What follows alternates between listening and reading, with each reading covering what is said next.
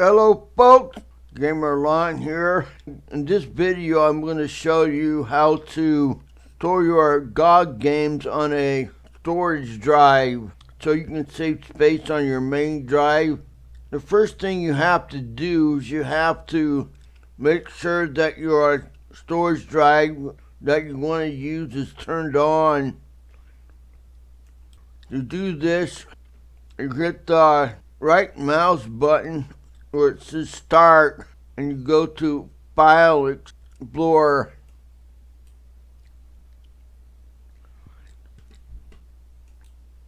now what you want to do is you check for your storage drive you want to use. I'm using this one right here. Okay so it's reading it. it's turned on. Yeah, you might want to create a file or something for it I got GOG Games. So now what we'll do is we'll go to our main drive where I have all the games stored.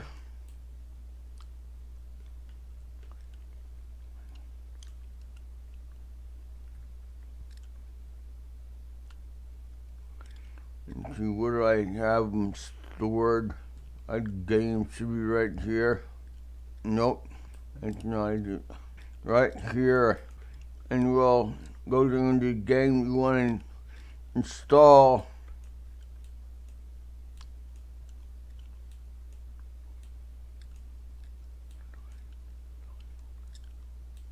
Install Thimbleweed Park.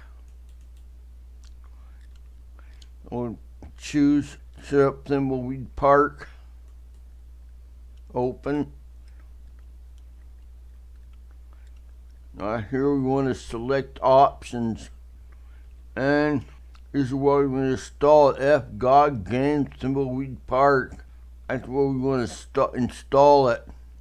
So now what we'll do is hit and click install.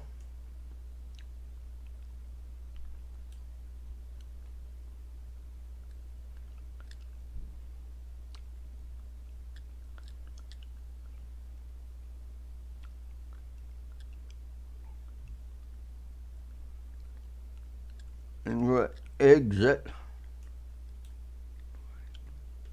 And get rid of this. Now if we go to our storage drive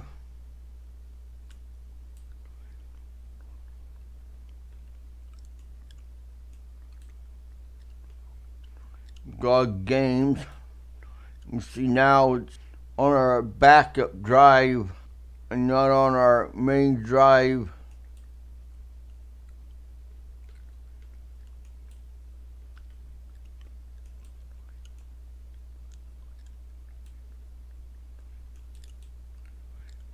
This is not on our main drive. Now if you want to run the game, just go in here and pick open.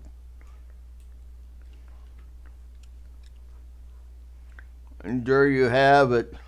Whatever game you selected to install is now running from your storage drive. So that's how you run GOG games from your storage drive and you can save space on your main drive. So, thanks for watching. Take care, and I will talk at you later. Bye, folks.